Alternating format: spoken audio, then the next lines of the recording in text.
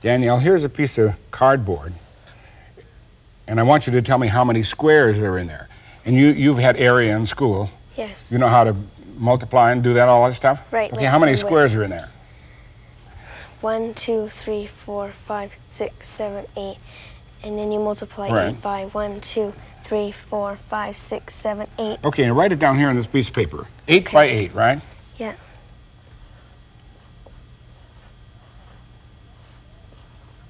Equals 64. 64. Okay, now watch. I'm not going to add another piece of cardboard or anything. All I'm going to do is move those out here like that and turn this one like that.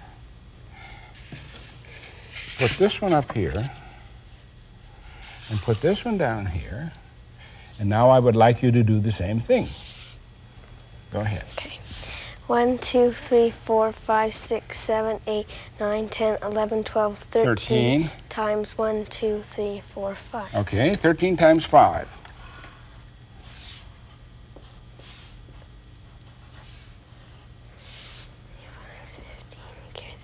That equals 65, but there's something wrong Why? because there's one extra square. So are you sure of your mathematics? Yes? 8 times 8 is definitely 64. Right. 13 times 5 is definitely 65. Right. So where did the extra square come from? This is, this is sort of a, uh, a variation of the sort of trick that's in a lot of children's books. So, and the explanation is, regardless of what the shape is, that these are not squares anymore. That's a, that's a square here, or that's a square, but look at this one.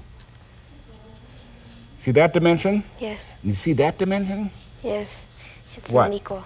It's not the same. No. This one's shorter, right? Right. Okay. So if you take a little bit from all the squares along this little line, you get one extra square. So the correct answer is the total number of squares is really what? 64. Right, because now they are really squares. Right. So don't let them fool you the next time with an extra square. Okay, I'll be careful.